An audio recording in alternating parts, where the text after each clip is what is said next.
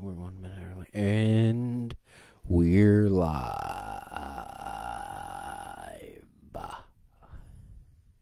Hello. I'm Pastor Doug.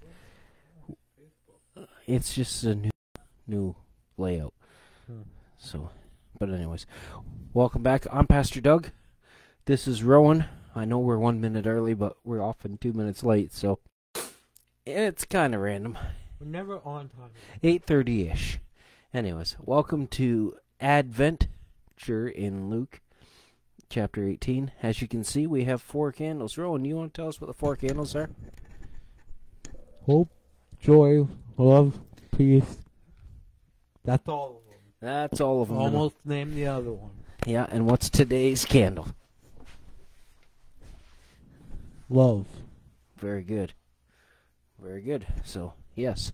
I just Right on. So, welcome. Tonight was a, a very good night. Anybody that came out to the dinner, thank you for coming.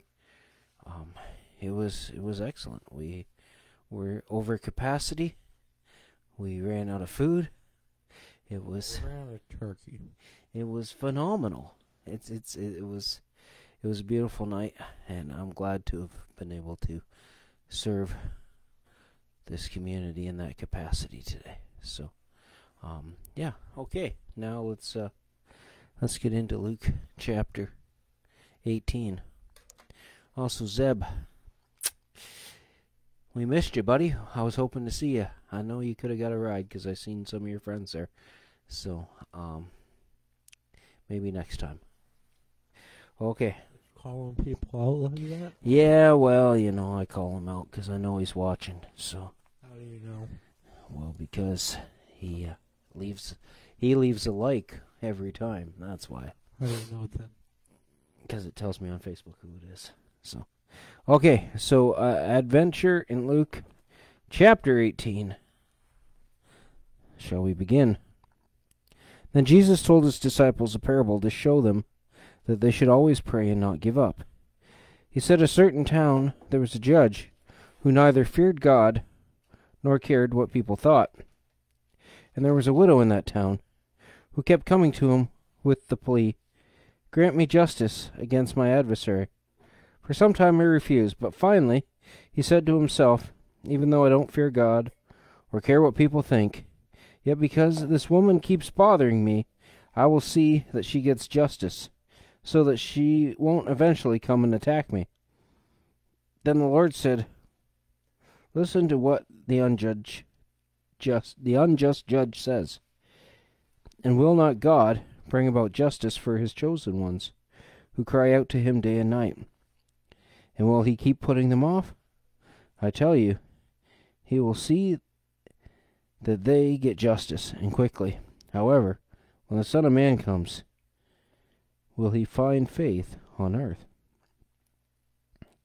To some who were confident in their own righteousness and looked down on everyone else, Jesus told this parable. Two men went to the temple to pray, one a Pharisee, the other a tax collector.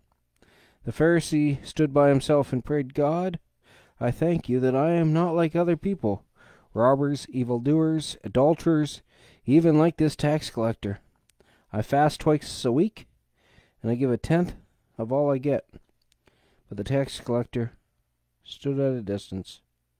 He would not even look up at heaven, but beat his breast and said, God, have mercy on me, a sinner. I tell you that the man, this man, rather than the other, went home justified before God. For all those who exalt themselves will be humbled, and those who humble themselves will be exalted. People were bringing babies to Jesus for him to place his hands on them. When the disciples saw this, they rebuked them.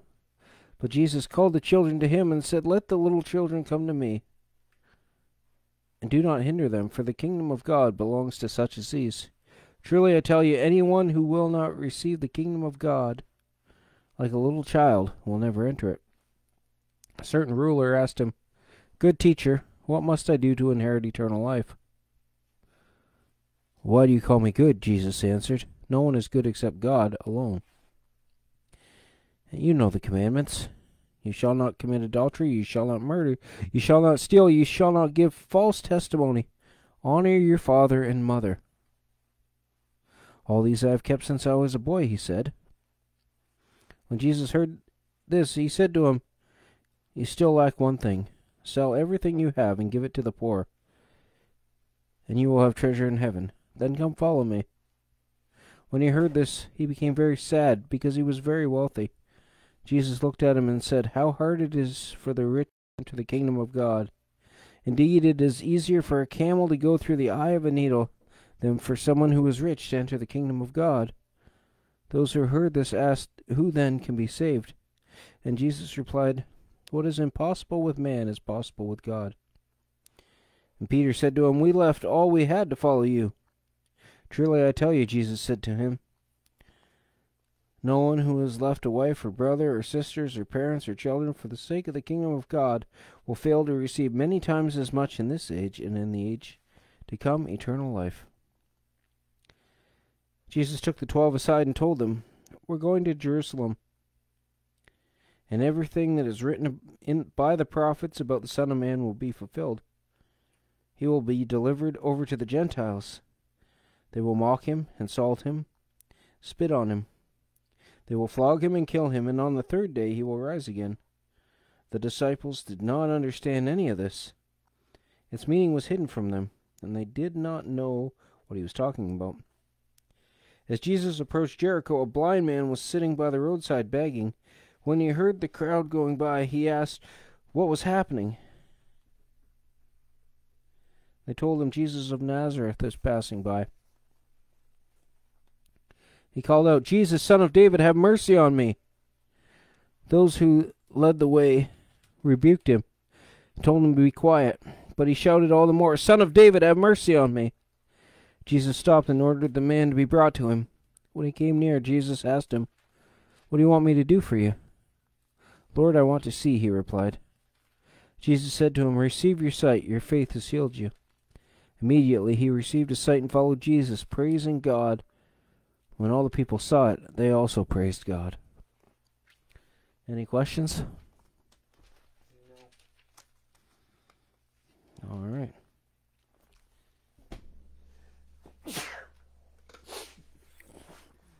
All right. Let's pray.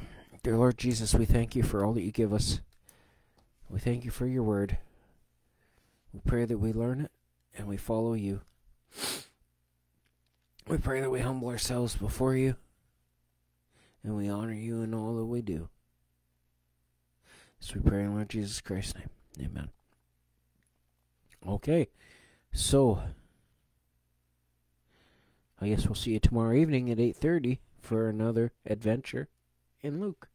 Got anything to add there, bro? No. All right. Peace out.